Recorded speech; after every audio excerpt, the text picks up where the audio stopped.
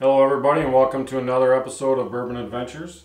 On today's episode I got two bottles of uh, Penelope. I have the Architect, which is straight bourbon finished with French oak staves. And then we have the barrel strength blend of straight bourbon whiskey with corn, rye, wheat, and malted barley. The barrel strength comes in at 116 proof and the Architect is 104 proof. I don't know a whole lot about Penelope. I picked, uh, actually picked this bottle up today and I got this one a couple weeks ago. I have tried this one, but I've never tried the barrel strength. So, just looking quick on their website, um, the architect is uh, it's a collaboration from France uh, with the oak uh, staves that are placed in the barrel for the finishing. Um, the aromas, they say it's sweet candied cream, hints of floral, and cream brulee. uh, they finishes with uh, rich vanilla, a lot of vanilla is what they're saying in floral. The barrel strength, um, haven't read too much about this one. This one it shows that it is for the nose, caramel, maple syrup, and sweetness. Forward, smooth caramel, brown sugar, subtle char, and hints of butterscotch. And the body and the finish is uh, cinnamon, slight maple, and a spicy cinnamon at the end. So we're going to give them a try and see if we like them. I'll pour these into the glasses here.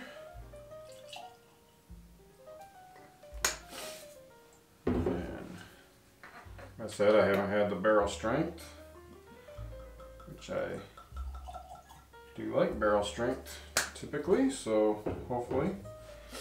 So we'll try the Architect first, like I said. According to their website, it's sweet cream, candied cream and floral. Yeah, you can definitely pick up the, the cream. Creamy anyway. Know if that's, I think this is a four grain, I'm not real sure. Doesn't really say on here. It does say on the back that it's aged four years and this is build number eight.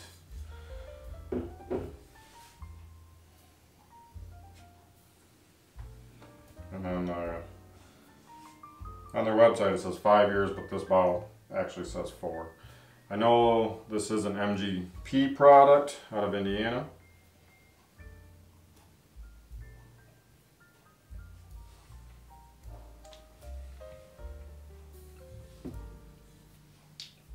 Definitely get the French uh, sweetness, oak, a lot of vanilla. Yeah, it's creamy on the nose and then you get the vanilla on the, on the palate.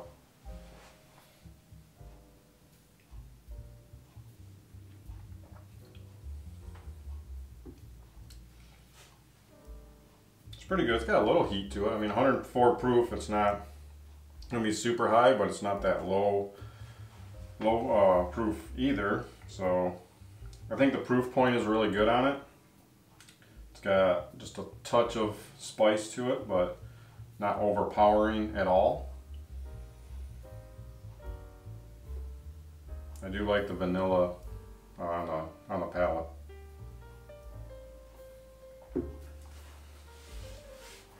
You get that creamy that transfers from the nose to the palate is creamy. All right, we're gonna try the, get some water, try the barrel proof. Which if the camera was rolling earlier, I was getting this all set up. We almost didn't try these bottles because I tipped them over and they fell on the floor. Thankfully they did not break because I would have been really upset with that since I just picked this bottle up maybe two hours ago. Alright, so let's see what this one says. We have caramel, maple syrup, and sweetness. And see how correct they are. Oh yeah, definitely get the caramel and the maple. Definitely uh, doesn't, it's not as creamy as the Architect. I don't know if uh, it's the proof that you can smell. And you get some sweetness there.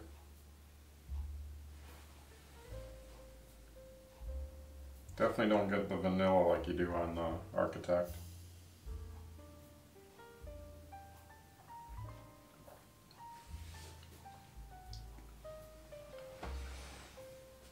Oh yeah, definitely get the brown sugar and the caramel on the on the um, palate also.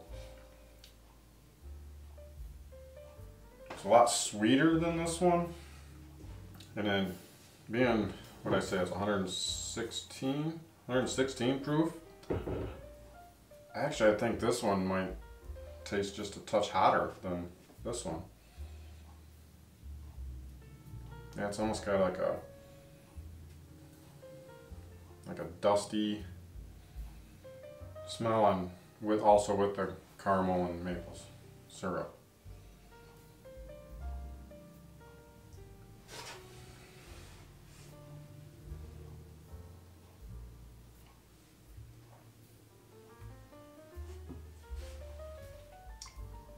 Yeah, they say you get a little bit of cinnamon. I get a touch cinnamon. I don't get, it's not up front cinnamon. I get more of the maple and the brown sugar. I get a touch. Butterscotch. But it's not a creamy, creamy butterscotch. It's like barely there.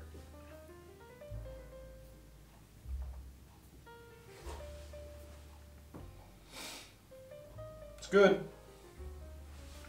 I don't really know if I prefer one or the other. This one's just a creamy,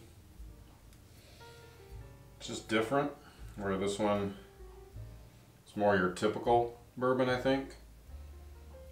So I'm guessing the, the French oak staves that they put in the barrels, that's what kind of makes it, which I like the different, I don't want them to be the same because otherwise I don't need to have two different bottles, but no, they're good. I think I believe, well, I just picked this one up today, so I know this one retails for $69.99, and I believe I paid either $49.99 or $59.99 for this one. I can't remember exactly, but 50 $60 range.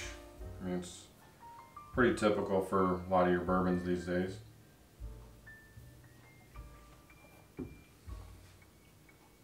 Yeah, it's definitely creamy, really creamy.